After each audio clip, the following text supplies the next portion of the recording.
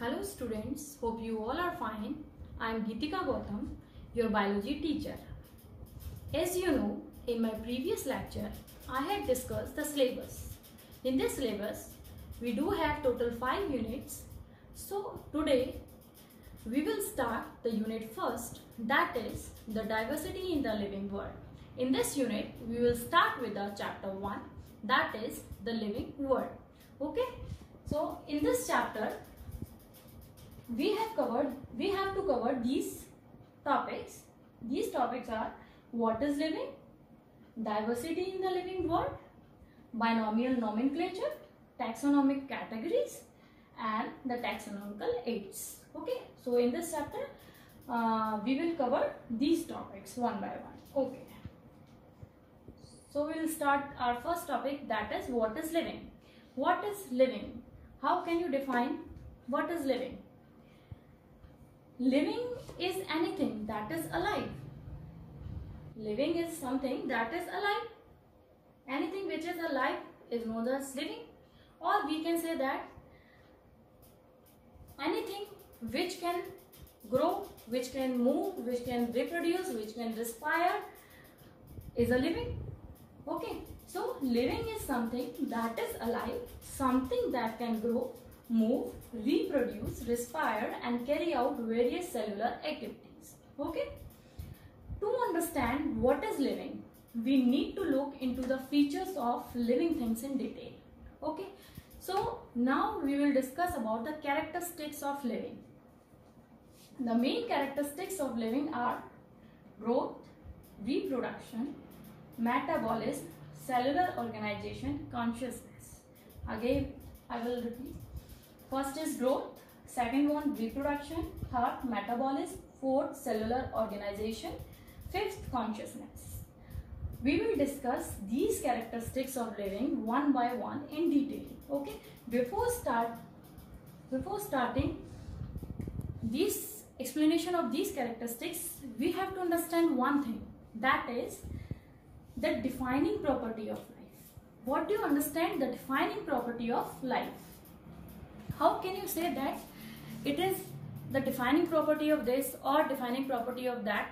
How can you say that? So you have to understand what is defining property of anything.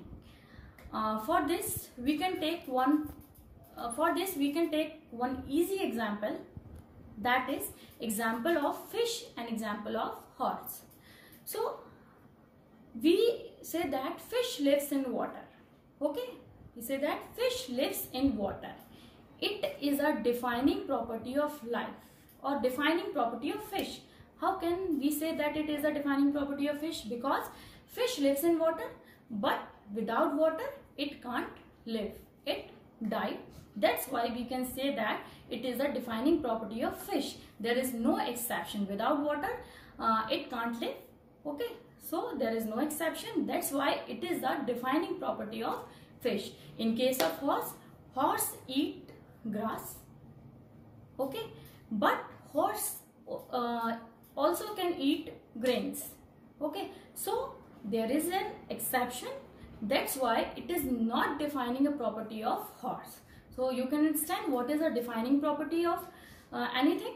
So in this chapter, we can learn or we can understand what is the defining property of life. Okay. So one by one, we can understand the what is the defining property of life is the growth is a defining property of life or not is reproduction is a defining property of life or not. We can understand in details okay. So those characteristics which have no exception is called defining property of life okay. Growth and reproduction are not the defining property of life but metabolism cellular organization consciousness is the defining property of life. Means some characteristics of living are the defining property of life while some characteristics of living are the non-defining property of life. Out of the total characteristics, two characteristics of living that is growth and reproduction is the defining property is not the defining property of life while the metabolism, cellular organization, consciousness is the defining property of life. Okay, you understand? So now we will discuss the characteristics of living one by one. So first characteristic of living is growth. What is growth? The overall increase in mass or size of a tissue of any tissue or organism or its parts is called growth. Okay? Overall increase in mass or size of tissue or organism or its part is called growth. Increase in mass and increase in number are twin characters of growth. How? In some organisms, cell divide or in some organisms, the organisms divide to produce the offspring. So, on this basis, we can say that increase in number or increase in mass are the twin characteristics of growth. Okay. Growth is of two types. That is intrinsic growth and extrinsic growth. What are they called? Intrinsic growth and extrinsic growth. Intrinsic growth, the growth which occurs inside the body of an organism is called as intrinsic growth. Okay? And intrinsic growth is a defining property of life. How we can say that the intrinsic growth is a defining property of life. Like the intrinsic growth occurs in only the living organism, not in the non-living organism. Okay, that's why we can say that it is a defining property of life. Cell division occurs within the body. Okay, means growth occurs within the body and it division occurs only in the living beings, not in non-living. That's why we can say that it is a defining property of life. Okay. Now, intrinsic growth again divided into two categories that is number one in indeterminate growth or unlimited growth okay indeterminate growth or unlimited growth second one is determinate growth and limited growth indeterminate growth or unlimited growth. As the word defines unlimited the growth which occurs continuously throughout their lifespan they are known as unlimited growth or indeterminate growth. Okay? It occurs only in plants. As you see plants grows throughout their lifespan. That type of growth is known as unlimited growth. Second one is determinate growth and limited growth. Growth which occurs only up to a certain age or only up to a certain period of time. Okay that type of growth is known as limited growth. It occurs only in animals. Okay when the growth occurs up to a certain age up to a certain age and after that limited age the growth becomes stop that's why they are known as limited growth. Uh, it occurs in animals and the type of growth second type is extrinsic growth. These are the types of intrinsic growth. Uh, next is second type of growth is extrinsic growth. That the growth which occurs outside the body of an organism is known as extrinsic growth extrinsic okay? Growth which occurs outside the body of an organism is called as extrinsic growth. Like the accumulation of material on any body surface is known as extrinsic growth. Non-living exhibit this type of growth. Like we can take an example of mountain growth of mountain. Sand particles accumulate on the surface of mountain and that type of growth is known as extrinsic growth. That's why we, uh, we can say that non-living exhibit this type of growth. So we can say that intrinsic growth exhibits living organism exhibits intrinsic growth and non-living organism non-living things exhibit this type of growth means extrinsic. Okay? Next is reproduction. What is reproduction? The production of new organism or new progeny is called as reproduction as you all know. Okay in case of multicellular organism Production of progeny possessing features more or less similar to those of parents. Means in multicellular organisms, offsprings are formed which is similar to the parents either more similar or less similar to the parents okay but in case of unicellular organism like bacteria unicellular algae or amoeba there is an increase in number of cells. Means unicellular organism.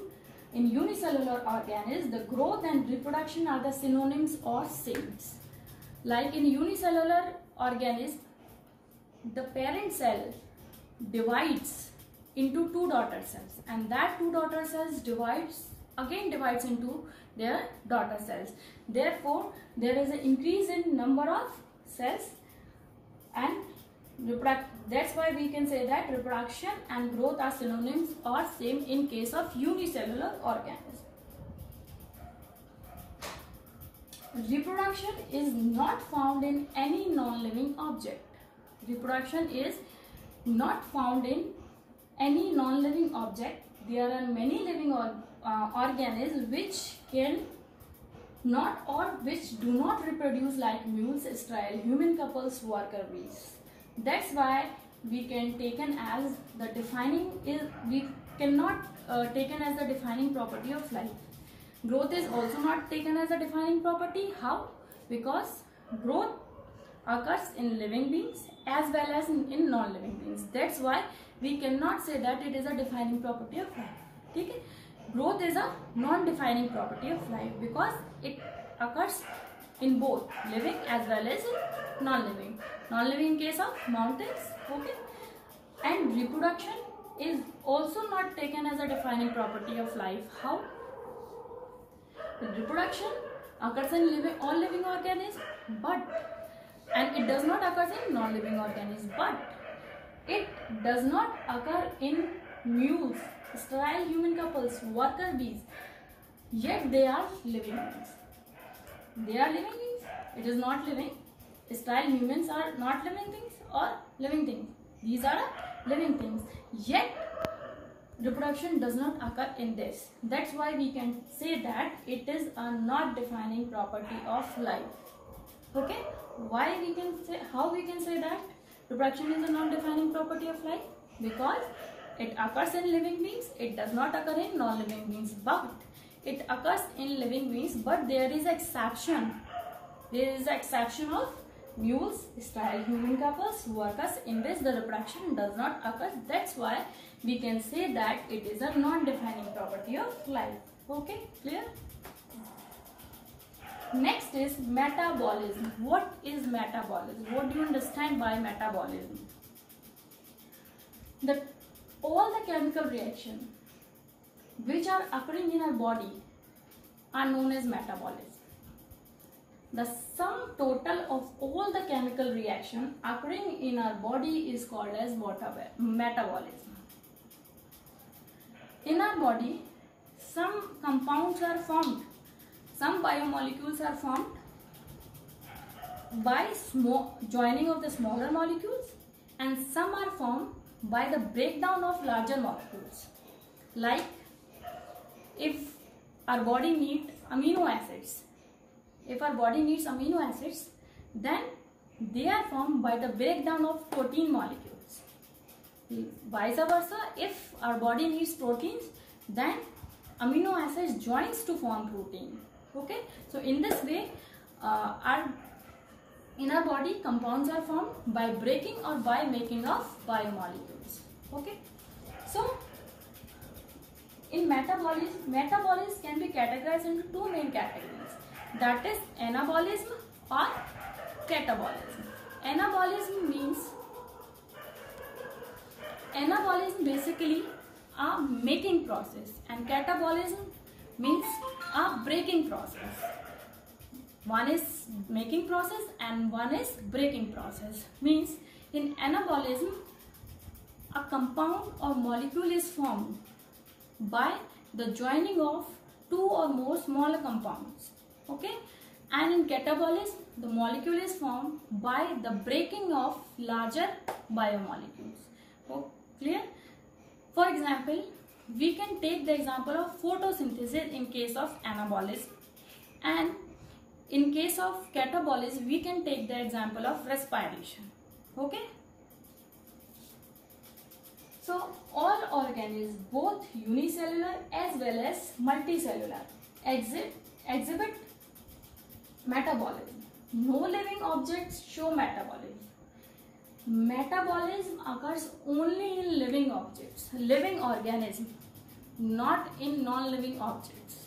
Okay? There is no exception. That's why we can say that it is a defining property of life. So we can say that it is a defining property of life. How we can say that it is a defining property of life? Because the metabolism, which is a sum total of anabolism or catabolism, occurs only in living organisms, not in non-living objects. That's why they are known as, uh, they can be said that it is a defining property of life. Okay. All plants, animals, fungi and microbes, microbes exhibit metabolism. Okay. Next is cellular organization. What is cell? Cell is a basic structural unit of life. Okay. All organisms, all living creatures on the earth are made up of cell. Cell is a basic unit of life. All organisms are composed of cell. Some organisms are composed of only single cell but on the other hand some are composed of many cells. Okay, the organism which is composed of only a single cell is known as unicellular organism while the organism which is composed of many cells, several cells are known as multicellular organism. Okay, unicellular organism is capable of independent existence and performing essential functions of life. Because the organism is composed of only a single cell, only single cell is present within an individual. That's why all the cellular activities are performed by that cell only. Okay, and therefore we can say that it is capable of independent existence. And cellular organization because all organisms, all living organisms are composed of cells. Non-living organisms are not composed of cells. Only living organisms are composed of cells and there is no exception in this. That's why we can say that this is the defining property of life. Okay, clear?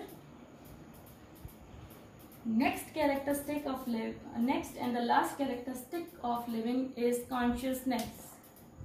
What is consciousness? It is the awareness of the surroundings and responding to external stimuli. If any organism is aware of its surrounding and it responds to the external stimuli, then uh, we can say that it is conscious. Okay.